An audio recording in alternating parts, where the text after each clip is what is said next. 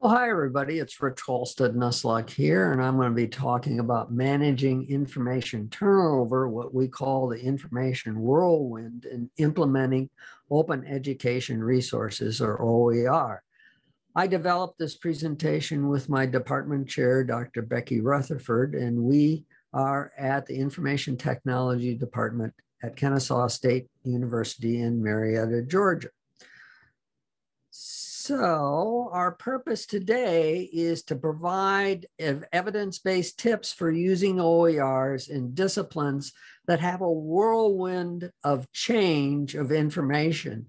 And an example of this is the one we're in, uh, information technology. All, anyhow, to uh, kind of bring you up to date, here's culture change that we've experienced in replacing IT text with cost free and OERs at KSU in our IT department.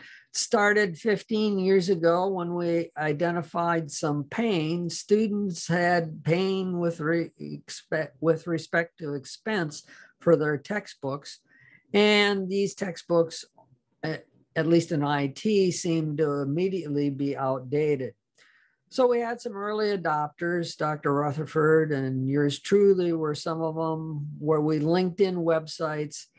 Uh, this was good, but the quality was variable and the pedagogy was e even. So about um, six years ago, six, seven years ago, we began a formalization process.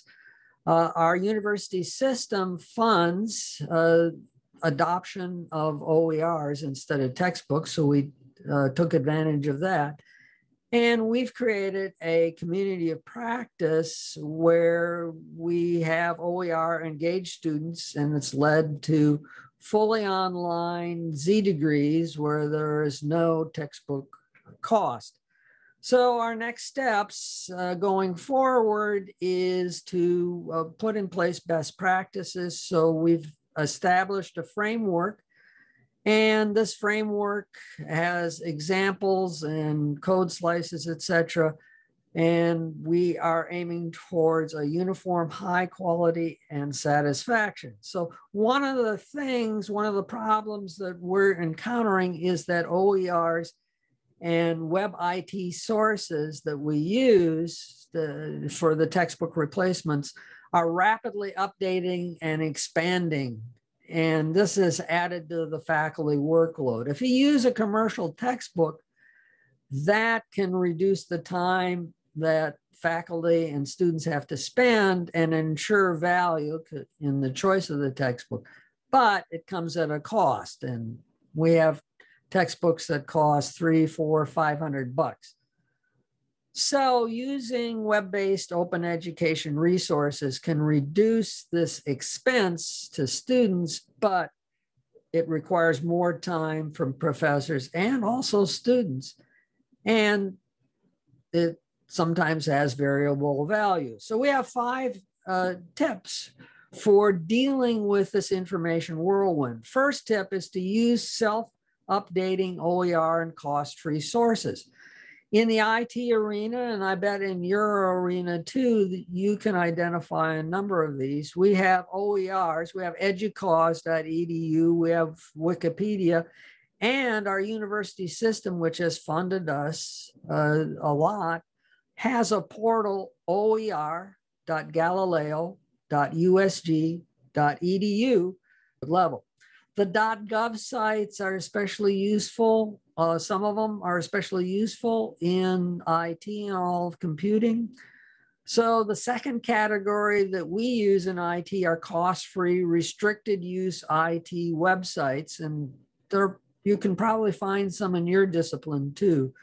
But for IT, it's it's kind of really easy because we have Google, IBM, Microsoft, Oracle, Amazon Web Services, all of these uh, companies provide restricted use but cost free IT websites. Now, the restrictions on the use are pretty flexible and pretty easy. Uh, so they blend in well with the, the predominant use of OERs in public domain. And then, of course, Don't forget the subscriptions that your uh, university and college library has. Uh, we use uh, journals and databases that come from predominantly two sources, the ACM Digital Library and the IEEE Xplore Digital Library. So take a look at those.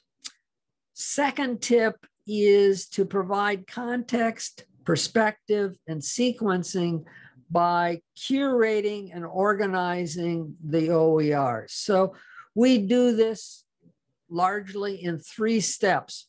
First of all, we develop and provide a reasonable sequence uh, through the material that we've curated, approximately approximating the flow of a textbook. Uh, the predominant criticism that we get from students about using OERs is they miss the flow, the beginning, the middle, the middle, the middle, the real middle, the end of the middle, the end of the middle, the end of the middle, and the end of a textbook, right? They, they miss that. Um, so if you can create a reasonable sequencing approximating the flow of a textbook, that's a good first step in implementing this tip.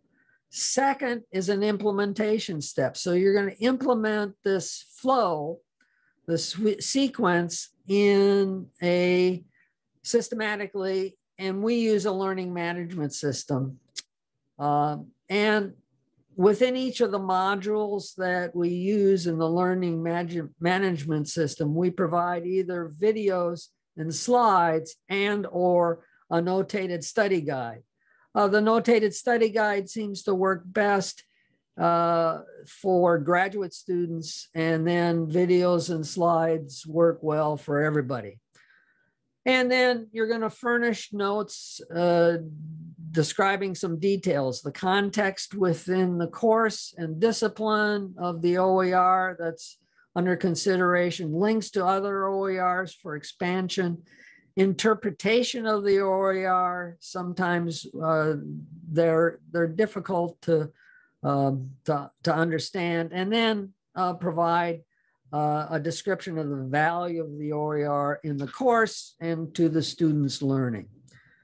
So the third and the fourth tip we put together basically because the steps uh, that we're going to use are pretty much the same because they have to do uh, the third and the fourth uh, tip have to do with engaging students. Tip three is to guide students to find and assess new and updated OERs so you can get them to do your update work or part of it, and then rely on students to improve the quality of OERs and their use uh, to let you know, you know, what works and what doesn't work. So uh, we found uh, three uh, basic stems uh, to, to do this. We use lab exercises, for example, have students fill in gaps in timelines and process sequences where they have to go out and uh, find OER cost-free materials and use that to fill the gaps.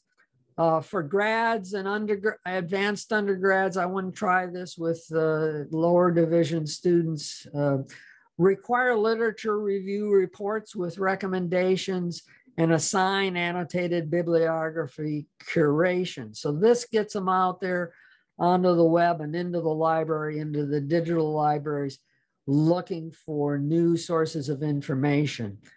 Uh, and then finally, unobtrusively solicit systematic feedback. And you can do this in reflective questions and discussion posts. The final tip is to seek peer and community input and feedback on OERs. Seek peer review from faculty. Dr. Rutherfoord is a master in embedding this in accreditation and tenure and promotion. Utilize community and or industry advisors. That's a great source of information. Solicit review and assessment from librarians. We have deep um, uh, resources there and then ask practicing professionals to walk through. All right, recap, deal with the information whirlwind, conclusion, the whirlwind is likely to grow, recommendation, use the five tips. Have a great conference.